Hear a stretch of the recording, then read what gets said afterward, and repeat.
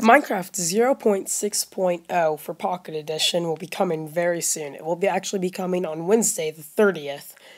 Two features that are very, very popular is the signs.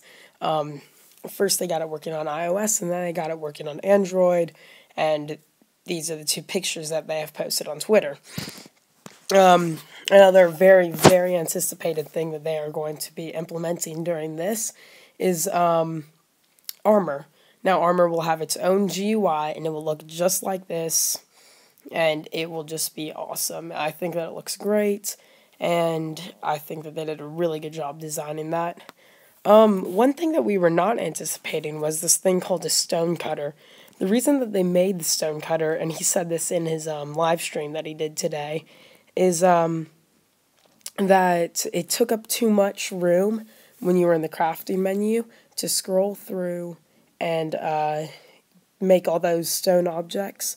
So I think it's great that he made stone cutter because it takes up less room in the crafting menu and it's a lot easier to find things.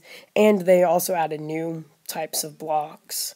And you can also um, put stone stairs and stone slabs and other things. You have new stairs and new slabs also. You can put them all upside down and they have corners and it just looks very, very nice. Um, another thing that they implemented was the uh, clouds. The clouds look amazing, and I love them. They definitely fit Minecraft better than that ugly shade of blue that they originally had. Um, I, that's all I really have to say today. Um, I know that they're working on online multiplayer and stuff like that for the future updates, but I will get to that later. And you guys should go watch that um, stream that he did posted on YouTube now. You guys should go check it out. It's awesome. So, you know, thanks for watching. Goodbye.